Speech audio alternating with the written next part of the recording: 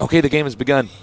But on our preview screen, I still see that I'm on camera. But hopefully they'll put. Okay, there we go. Oh, there it is. There we go. Okay. Uh, I, was wondering, I was wondering what was going on with that. I was. I know, right? I glanced over there. Like, well, Like, you just want me to sit quietly? Uh, uh, Okay, but I love to talk. Okay.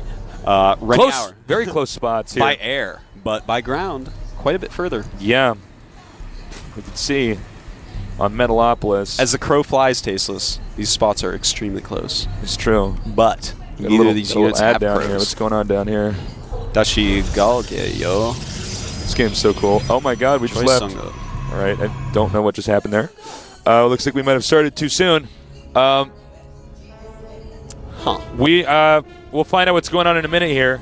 Um, we might have to remake the game or something. I think there's some technical difficulties. Uh, That's all but right. stay tuned. Um, we'll be either invited into the game. Okay, we're being invited back into the game right now. And um, again, the game will be on Metalopolis, so uh, we won't see them playing possibly in those close locations by air. Mm. That uh, could really change everything, actually. Yeah, uh, you know, if Juktu Jung ends up being in the close by ground uh, spots, he's not going to be happy with this restart. If he No. ends up diagonal, he's going to be really happy. It's going to be like, thank he ends you. up in the same spot, Thank he'll you. be medium happy. Thank you, universe, for bending to my will. That's right, The yeah. universe bends itself. We're just to a- gonna keep into a pretzel for my there. will. Yeah. Um, all right, so again, both players are confirming that they were, were ready. I maybe we didn't have one of the Korean observers in the game or something. We started that very quickly. Um, so. Um, guys, thank you so much for joining us. It's been a lot of fun. Yeah. Uh, I don't know who's going to win this because both of these players have looked pretty strong in their yeah, games definitely. that they won. Uh, you know, I, I kind of like Juktu Jung to take this, to be Yeah, perfectly I honest. think so. Uh, I All love right. this play, so. We're starting now. This is not a drill. This is not a test.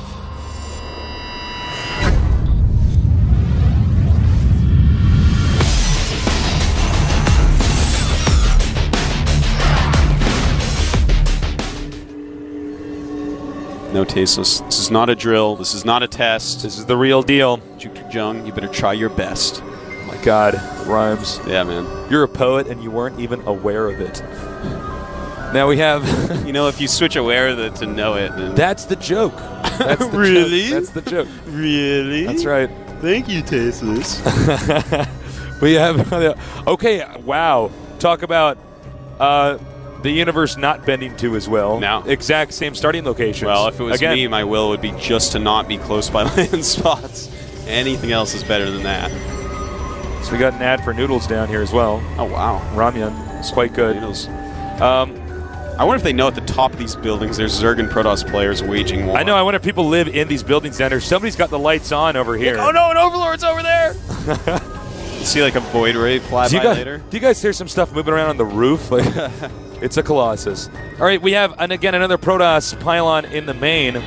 Um, so nothing down here, like fast expand or something like that. And, um, He does see the Overlord right away, so Yeah. uh, he knows the location. you know, some Zerg players, when they get close enough, right about to this region here, they Some spot around, the. Nexus, yeah, and turn around. That's, that's what I uh, tend to do when I'm playing Zerg, and I think it's pretty effective. You know, in, in my opinion, I like to go in and see what he's doing exactly. Yeah, it, it makes a big difference in my build order if I see they're going one gateway, two gateway. Are they chrono boosting zealots? Are they not? Are they going for probes? Are they going for Yeah. double gas? Those are the type of things that I personally really like to look for. A lot of people prefer to just not give away their position. I understand that, but uh, I tell you, I disagree, Tasteless. Well, each player has his own play style. That's right. That's what Yeah, makes I- StarCraft I for me, so honestly, beautiful. well, one of the thing about uh, one of the things about my play style is I'm, I'm always focused on deception. That's right. I mean, that's just the way I play. You're a Decepticon. I'm I'm you could never be Tasteless Prime. That's right. here we go uh, with the Zerg again. Normal build order um, here from the Zerg. Zerg really can't hatch on 12 uh, unless they're really willing to take a risk, and you Yeah. can't lose. That stuff is so so risky, especially against Protoss because of the chrono charge, chrono boost. Yeah.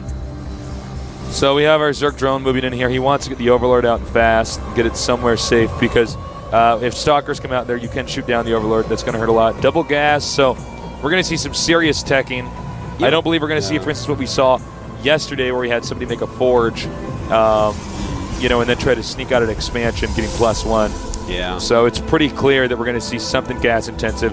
I would be surprised if it's void rays. Uh, most likely mass gateways. And you know, uh, a really good strategy for sending a drone this early is actually taking the gas, but he did not choose to do that this time. If you take the gas, uh, the warp gate rushes are actually a little bit weaker because they can't make as many sentries. So you just account for that. There's going to be less sentries, maybe more zealots, more uh, stalkers, and that's always a good thing. Those sentries are so scary. Got a little uh, chase going on over here. This probe will die. And you're right, there's a remarkable resemblance. The probe, the, the cousin of the observer. That's right. It's uh, the next. You know, they're both so good at scouting. They are. Observer is like a floating cloaked probe. It is. That's kinda They scary can't mine think minerals. about it. Think about that, man. Yeah. Sleep well tonight, Zerg players. uh, we got it. Warp gates on the way. Robotics facility. I'm curious to see if this is a fake. He needs to get rid of this drone quickly. Yeah, and uh, you know, the robotics is it can be useful early against Zerg. There's some I don't really like the uh, the dropship techniques. You know those uh, phase prisms that early against Zerg, except like we saw Yeah, on that like. That was really clever. But other than that, you know, it's probably immortals that you want to try to help take out sunken or rather spine crawlers very quickly. It's um. Okay, okay, hold that thought. I'm sorry. I was waiting to see what the actual tech building was. Here we see he is going to go for the warp gate rush. He's got three gateways over here. Um, now, is he going to do something sneaky again and make a nexus? Because well, remember, um, you know, you can really only trick a player once in a best of three with the same strategy. Well, he did cancel the uh, the robotics, and it looks like this Overlord's coming to see if it's been canceled. Juktu Jung is onto him, but losing an Oh, did he see it? Did he see it? I believe. Where did he make the robotics originally? Uh, right around there. So right around there. So it depends if you got a glimpse of it. Well, actually, if we go ahead and look at Juktu Jung's vision, Oh, that's by right. clicking right over here, See, you can take a look, and he did in fact see another building was being warped in on top. So Yeah. he knows something's up. boom, Artosis keeping me in check. Thank you. That's right. Um, Watch a lot of games. by the way, I love these observer features. You know, it's like I'm still getting used to mastering Yeah. all of them and stuff. But yeah, We're used to just being like a player that doesn't well, you play know, from. StarCraft One. When, yeah, when you, you play, when you've observed enough StarCraft One games, you get that so used to um, all these features, or not used to all these features. Excuse me. All right, so he knows that um, he did this. Actually, this reminds me of a similar game I played um, against my younger brother.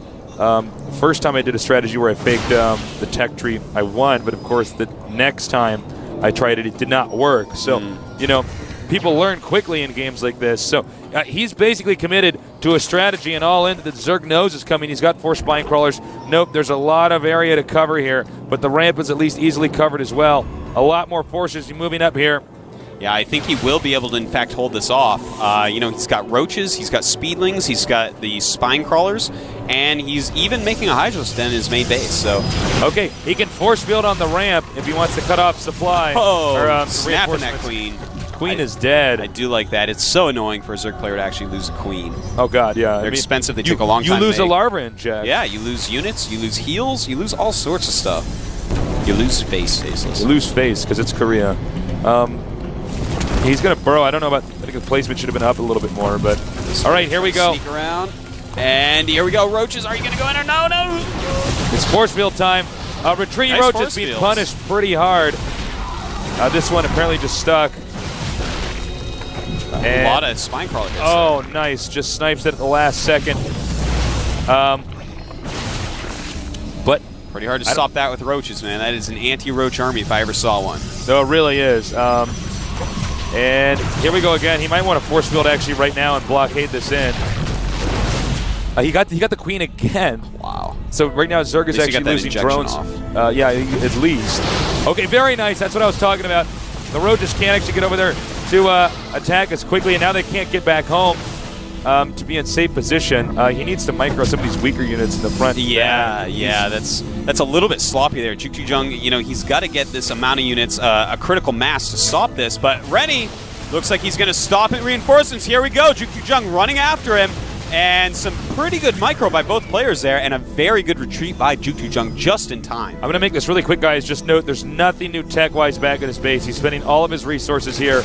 Um, to do this pretty all block at the ramp, block at the ramp. He's microed pretty well. That absorbing a lot of the hits. Uh, he needs to micro back a little bit more. Yeah, he's got to stay on this creep, and the Protoss player has to run back and not take so many hits from the Zerglings. Time it out so that you're running away until it's time to shoot again. That's very, Yeah. very important with this, these all-in warp gate rushes. All right, he needs to use a, another force field here on the ramp. Um, well, actually, you know, it looks like most most of the Zerg units are down at the bottom of the ramp now. Actually, I don't know if this is going to work. I think the Zerg may have lasted long enough. He's got to reposition his army, really get those zealots out where the Zerglings are going to be hitting, except instead of behind stalkers.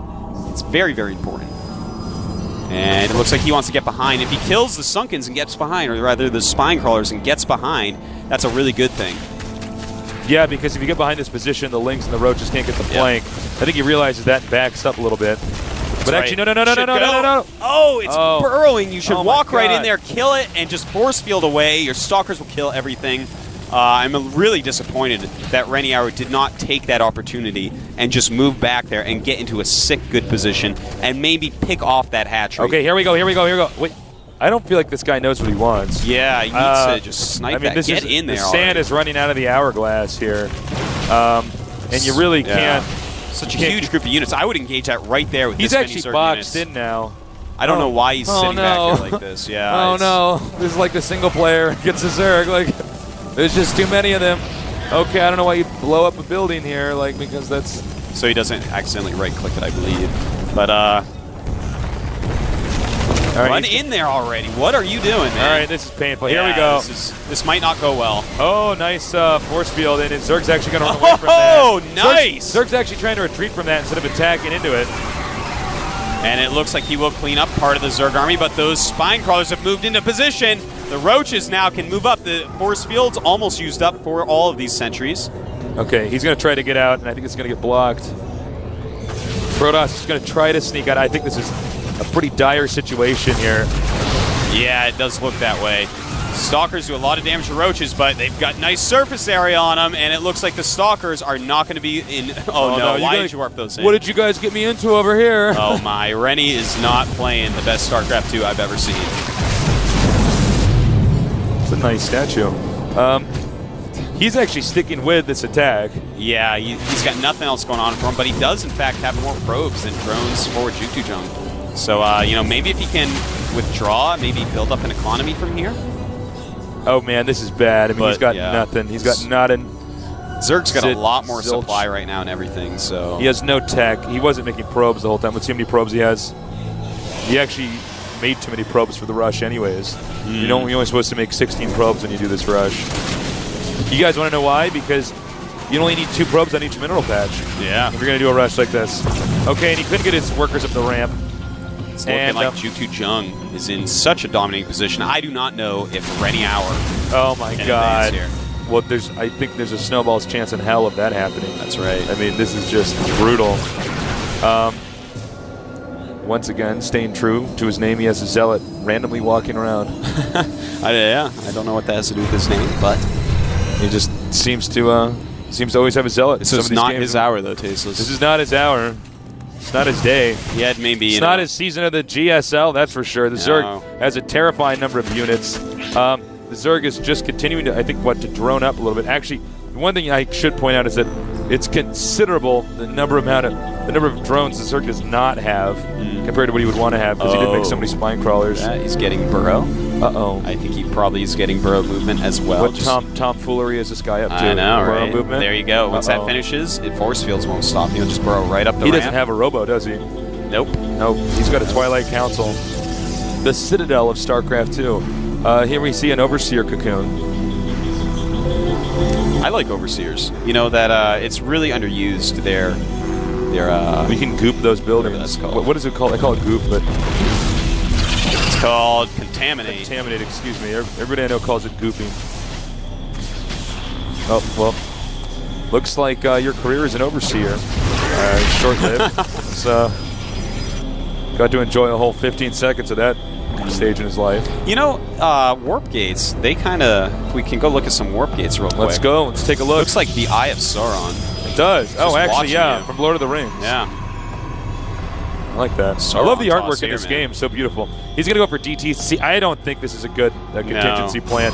He's going to hide a Nexus, which is, of course, we seem to be seeing that a lot in this tournament, but it's kind of a desperate act. Yeah. Um, I mean, it's like, boy, I sure hope I don't get spotted with this. The roaches look so much cooler with their uh, burrowing. They look pretty. They look pretty metal. Yeah. Uh, okay, here we go. and yeah, this is uh, pretty scary. Look pretty punk rock here with these spikes coming out of him. Now here's the problem. There's nothing here to spot this. That's right. These guys are going to be so startled. But you can see burrow movement under the ground if you are looking at it. Yeah, yeah, yeah. So Doesn't uh, mean that your units can attack it, but I mean, the, the player sees, yeah. you see little shadows under the ground. Yeah. I don't know why they make shadows, but okay. Right, we have a cannon. Do We have anything. Now, you are one of the first players that started doing this, Artosis, but literally to just unburrow under their army is actually so strong. Let's see if that's. Yeah, look at is this. he do just it? does that, he'll crush this army. Uh, Oh, almost. He can actually just burrow again and just go under it. That's right. Does a force field block a burrowed? Uh, no, no they, it doesn't. They had that in a patch for yeah, a little bit, and it changed it, right? Yeah. It made the Oh, burrow movement almost a useless. DT. But realistically, they heal so fast in Burrow. Uh, in this situation, he can actually just Burrow, go up that ramp, and kill his opponent extremely easily. Yeah, I don't think he needs to run from this DT. There's Yeah, another DT over here. Oh, he's going home to try to kill the DT. I see. He's getting a lot of drones, man. He very basically good got all these drones. Whoa, this actually could change everything. Well, The main base DT killing a lot of drones as well. And switching over to Mutas, the DT does see that before he dies. So Wow, take a look at the drone count now. Oh my god. 24 versus 32 probes. Some of these are some of these are And if we look at the mini-map, it looks like probes are transferring down to the hidden expansion, and there was no Zerg units there to actually catch that. Yeah, so nothing. really good timing on moving those over. The DT's really changing the flow of this game. I thought he was going to die right there, but who knows? maybe he's gonna die five minutes from now because I think he's Zerg still has Zerg knows about uh oh. Does he know? What is he No? he doesn't know. Okay. But he I does think- strange. yeah. That movement he made made it really look like he was heading down there. However, I think they're simply putting too much here on the ramp. Yeah, this attack may just uh, kill him. Realistically, I feel like did he? Ar- really, really, Reniao, really? You did that then? I know. Ah. That's actually how stressed out this guy is. Yeah. is. Oh, I like this pylon block though. This is a beautiful pylon block because if that's there, the roaches cannot just bro in and kill him. Because that's actually that's what I would have done. Yeah, that's pretty smart. He's gonna find that pylon, have to pop up and kill it. Oh, does he have? He has an observer at this point. All right. All right, here we go. The uh, stasis here. Oh, I love, I love those force fields. Very Stopping nice. the roaches. Oh, oh, oh, no, no, no, no, no. They're just too close. They're gonna unburrow. Yeah, this is not the position you want to be in. Look at them. That is so Oh, scary. God. It's like no units, along with the mutas. This is like, oh my. Oh, my God. That is scary stuff right there. That's it. That's gonna be GG. Yeah. There's He's no way he's going to hold on to this. So many roaches, so many zerglings, and a handful of mutas. Don't even know why he had some mutas. Didn't really need him, but all right. Well, I mean, he could have pretty much done whatever he wanted from this point on. So there we go. Rainy Hour out of the tournament. Juk Tung Jung gonna go on to the round of 32. really well nice played. Play. I really, I Yeah. like his style a whole lot. Look, see the smile on his face. He's feeling pretty good. Yeah, man. Achievement accomplished. Oh, that's so cute. That is so cute. Oh, Uh, who wrote that? Achievement accomplished. that's right. I wonder if he gets more points in his battle. I know. It's like it's like one of the new achievements he gets, like along with like you watched a replay. And yeah. well done. Congratulations to him. He's going to move on um, to the round of 32. Um, Hour, uh, you know, he didn't play poorly, but you know the defense was just too solid. Guys, we're going to go to a break momentarily here, um, and uh, when um, when we get back, let's hear. This is our second match, the one that was canceled. Look at Yes, the stat our second yes, match was. So we're going to go on to the third match. That's going to be a TVZ.